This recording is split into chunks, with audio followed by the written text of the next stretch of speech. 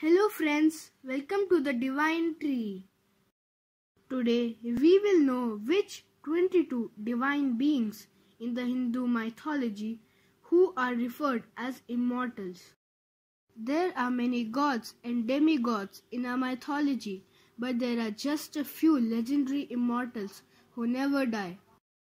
Starting with the Ashtachiranjeevis or eight immortals. The first among them is Bali, a demon who had conquered all three universes but was forced to return them with the help of Lord Vamana, an avatar of Vishnu. The second among them is Markandeya, a famous devotee of Lord Shiva.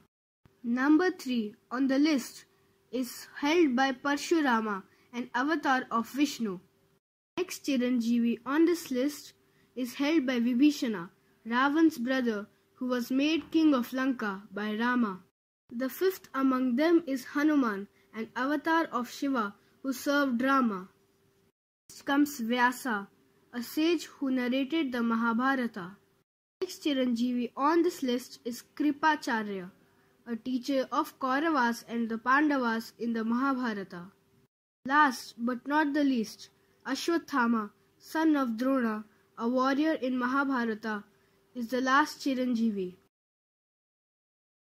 Other than these immortals, there are other gods in Hindu mythology.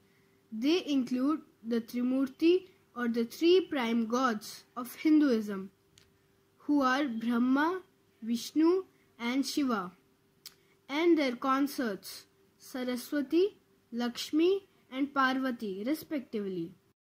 With them, the residents of Swargaloka Indra, the king of gods, and his assistors.